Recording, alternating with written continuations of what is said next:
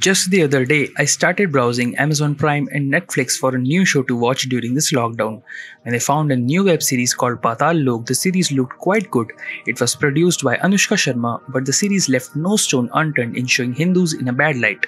It showed a pandit cooking meat and serving it to a man who eats it while sitting under a mural of a goddess with a cow. It shows how the Hindus in UP do not let minorities practice their religion, how upper caste Hindus made a criminal out of lower caste men.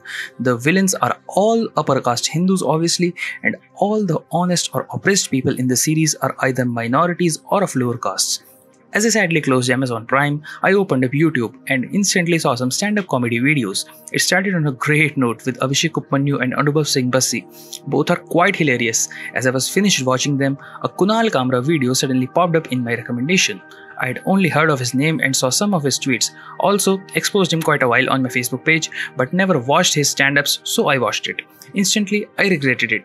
The video was firstly extremely unfunny and started on an abusive note towards old age people. As the video progressed, the stand-up comedian started making jokes on Jai Mata. The whole video was not only painted with propaganda against nationalism and BJP, but was Hindu-phobic. I had never realized that this anti BJP, anti Arnab Goswami comedian was also anti Hindu. With just a few searches on YouTube and Google, the stand up propaganda of these new gen comedians were revealed. All big names of stand up comedy Vir Das, Kunal Kamra, Varun Grover, be it anyone, one thing is common among them all of them are anti BJP and they love showing it off on social media.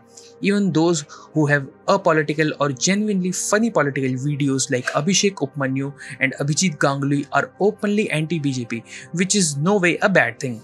But the nexus reveals itself when you see and observe comedians like Vir Das, Sanjay Rajoura, Munawar Faruqui, and Kunal Kamra himself. The smear campaign against Hindu is now using stand up comedy to infiltrate the minds of youth. Let us take Vir Das for example. This actor comedian who acted in movies like Go Goa Gone and Delhi Belly is known Modi hater. In one of his videos, which is available on Netflix, yes, Netflix, Vir Das says this about Ramayan.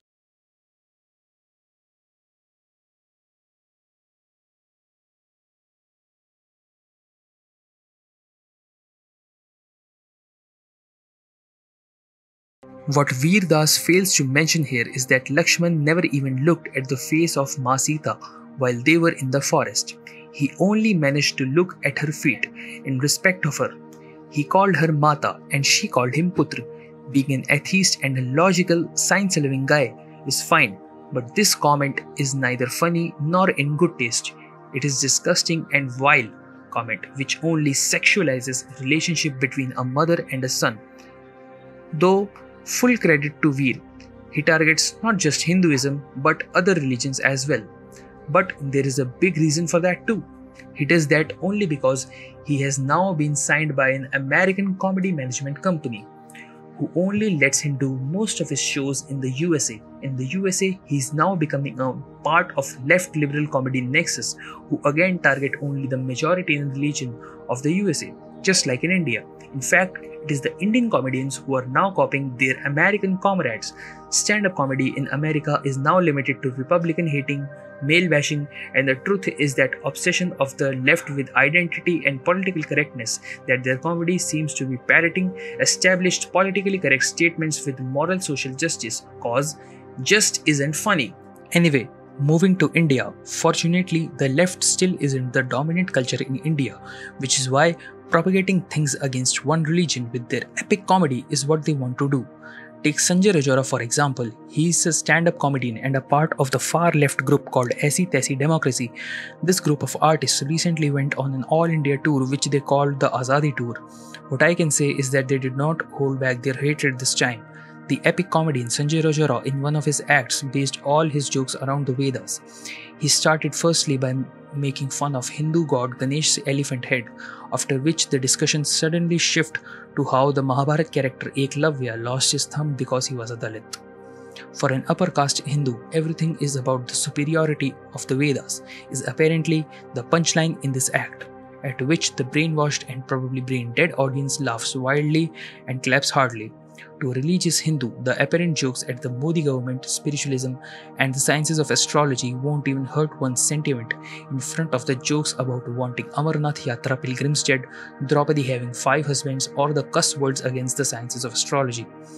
This act, in which Rajoura tries to prove the superiority of science over religion, is nothing short of a venom spewing contest against one religion, Hinduism. Sadly, this is what the secular fabric in India has all been about.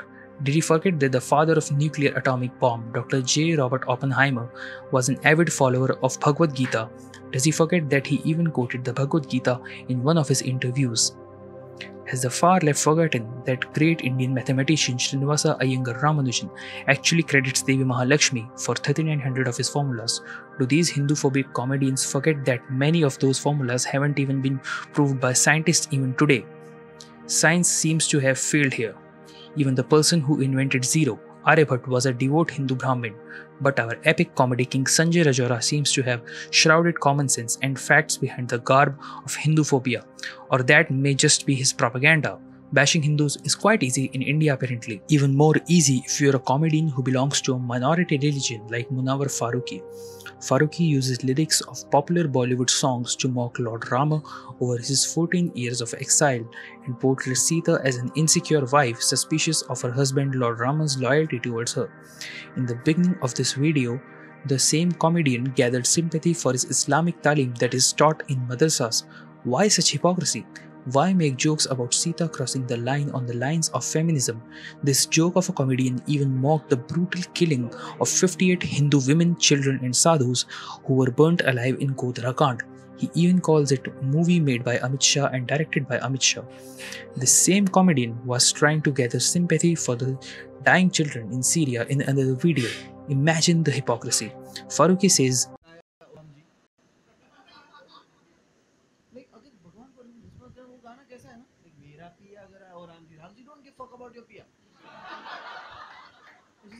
पिया घर है राम जी मैं चौदह साल से खुद घर नहीं गया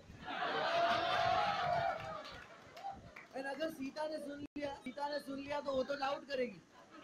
कि if your husband is why you are updating my husband bitch and Sita को तो माधुरी में पहले से शक है। वो गाना है, तेरा करूँ गिन गिन तो उसको लगा वनवास गिन रही है कि साल चौदह पे रुक गई है। Former Shiv Sena leader Ramesh Solanki has filed a FIR against Faruqui for his comments. In 2018, a man named Paras Rajput has confronted comedians Masoom Rajwani and Kunal Kamra for cracking offensive jokes on Hinduism. The incident is of 15 April 2018 when Masoom Rajwani insulted Hindu gods and goddess at Canvas Laugh Club, Mumbai. Paras Rajput immediately interrupted the show and filed the police complaint the same night. A video was put out by Paras Rajput where people can be heard of protesting against the offensive jokes made against Hinduism on the show. Just recently, another stand up comedian belonging to the anti Hindu nexus got exposed. A comedian by the name of Surleen Kaur. Her video started to round on social media, where she could be heard of making jokes on ISKCON, an international Hindu organization that worships Lord Krishna, while blaming the Indian government for banning porn.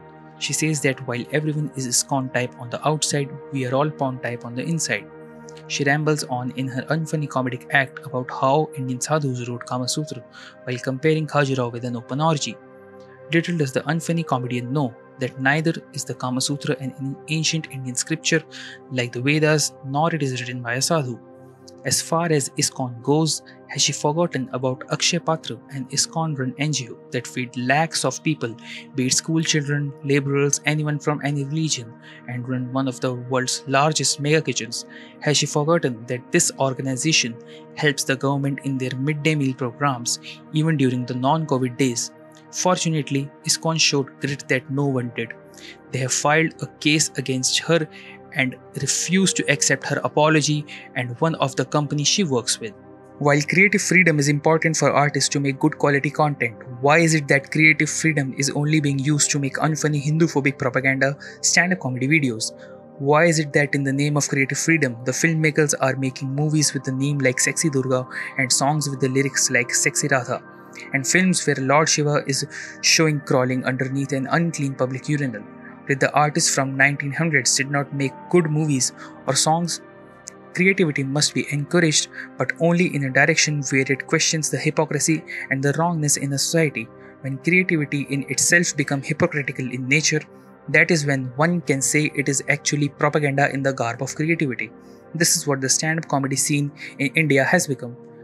The pertinent point to note here is that only Hinduism is subjected to such derisive ridicule, while other religions have largely been exempted from their contemptuous mockery, perhaps to preserve the secular fabric of the humor.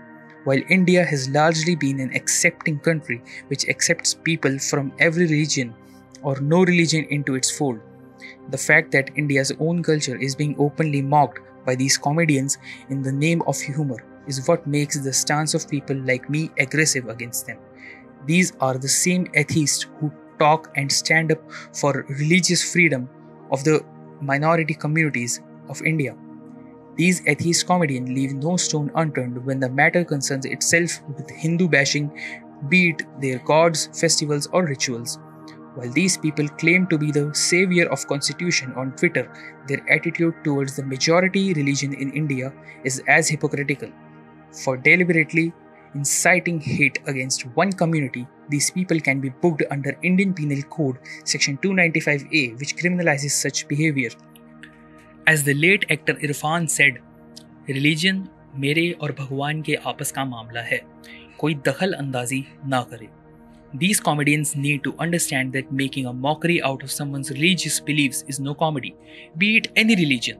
The nexus of the left liberal cultural Marxism, which today stands deeply rooted in all the democracies of the West, is slowly starting to make its way in the deeply culturally rooted fabric of India, and the current crop of stand up comedians is a great propaganda tool of it. Perhaps it is time that we take an aggressive stance towards them and slap them with lawsuits rather than simple FIRs. Thank you so much for watching the video. Do like, let me know your thoughts in the comment section below. For more content like this, do subscribe and hit the bell icon. And you can follow us on social media Twitter, Facebook, and Instagram. All the links are given below in the description. I will meet you in another video. Till then, goodbye.